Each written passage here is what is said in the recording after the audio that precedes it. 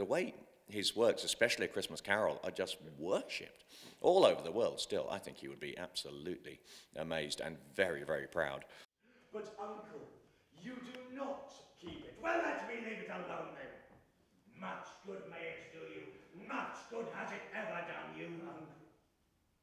I have always had a very small fire, but the clerk's fire was so very much smaller